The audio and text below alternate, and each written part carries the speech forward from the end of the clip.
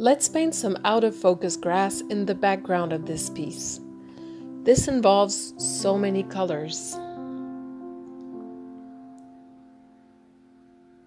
I just want to give the idea of grass without painting every stem. I make sure every layer is dry before adding another one so the colors don't mix.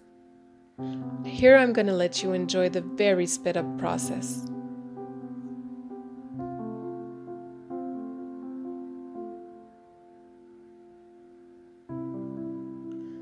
Sometimes I go over dark spots with only water on the brush to soften the edges and keep the out of focus effect.